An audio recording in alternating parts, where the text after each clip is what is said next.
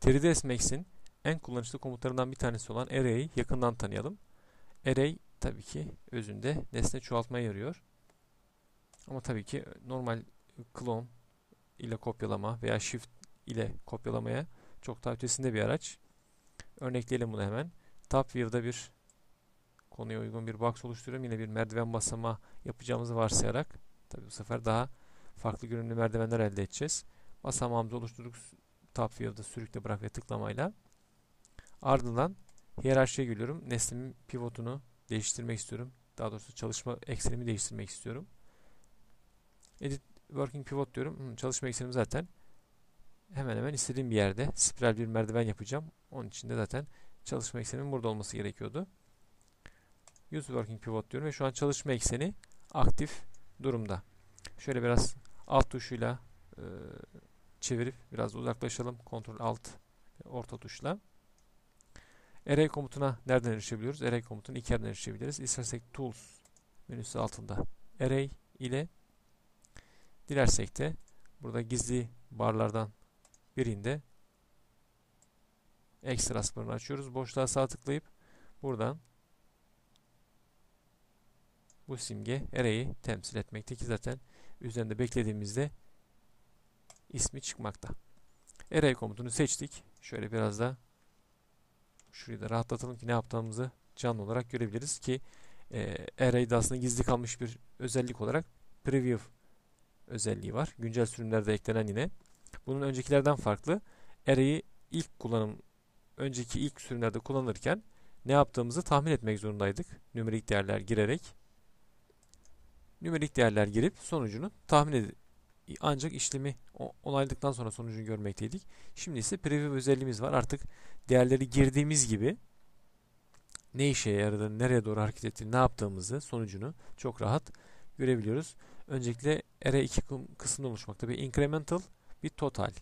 Yani bir sonraki neslinin yani ikinci kopyanın uzaklığını veya yapacağı işi ilk satır move yani trans e, taşımayı hareket ettirmeyi ikinci satır rotasyonu yani açısal değişimleri üçüncü satır ise boyut scale'i temsil etmekte.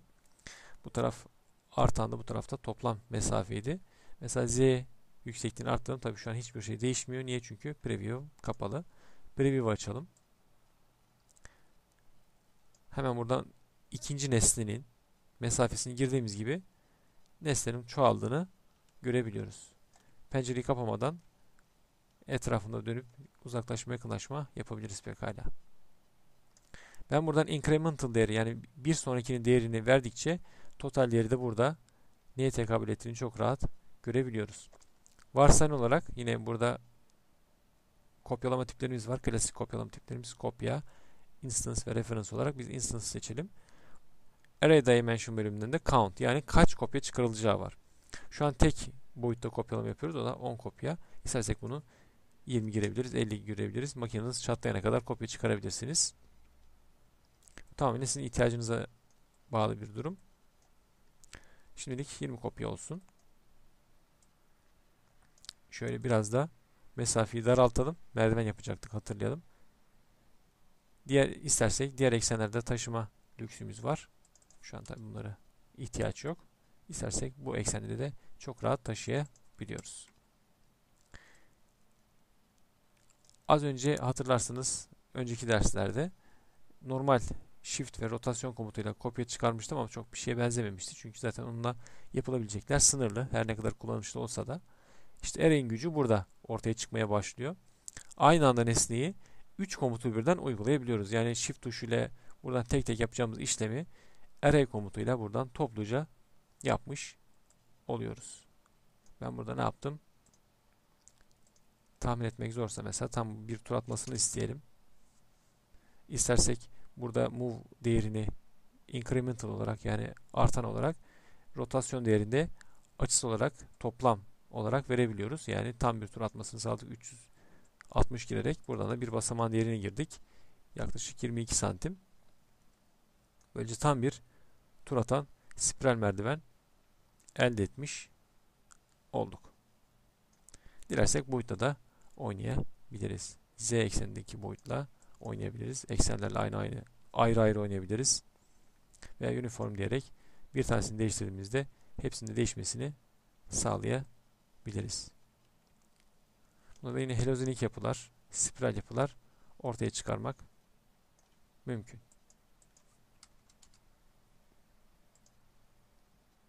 Dilersek bunlarla ayrı ayrı boyutlandırma, eksenleri ayrı ayrı uygulama şansımız da var. Eğer çok ağır bir nesnenin kopyasını çıkarıyorsanız display, X, display as box, box komutuyla ön izlemeyi kutusal olarak da alabilirsiniz. Böylece nesneniz binlerce, on binlerce poligona sahip olsa da makineniz kasılmadan tüm kopyaları çok rahat bir şekilde gösterebilir. Tabii benim kutumun alt üstü alt yüzey olduğu için normal çalışabiliyorum. Array Dimension bölümünden ne yapıyoruz? Buradan da istersek 2 boyutta veya 3 boyutta yine kopya çıkarabiliyoruz. Mesela bir merdiven yaptık diyelim. Bunun bir kopyasını daha çıkardık. Tabii ki buradaki değeri 2 yaptık ama hiçbir katkısı olmadı bize. Niye? Çünkü burada da oynadığımızda artan şekilde yani bu değerlerin üzerine ekstradan buradaki değerleri ekleyerek nesnenin bir kopyasını da çıkarıyor. Bir tane daha ekleyelim. Evet. Belki bunda mimari olarak veya ne bileyim gerçekle ilgisi olmayan nesneler modellenebilir ama spiral ve helozonik yapılar yapmak, gerçeküstü yapılar nesneler modellemek için oldukça ideal bir araç gibi görünüyor. Buradaki değerlerin üstüne bunu ekleyerek buradaki değerleri ekleyerek yani buradaki değerler artı buradaki değerleri ve buradaki tabii ki toplam sayıyı ekleyerek bize kopyalar çıkartıyor.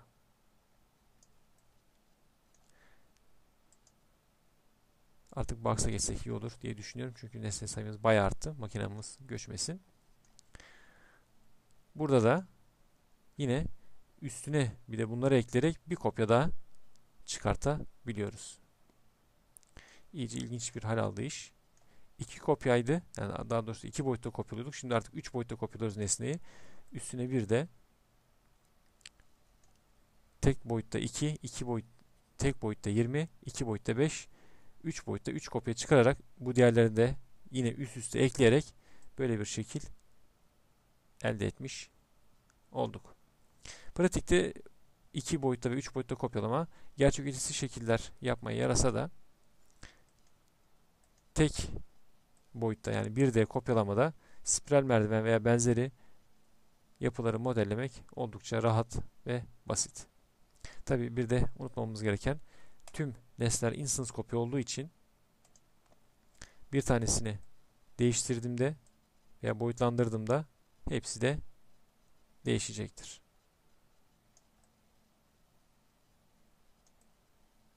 İşte array komutunun gücü.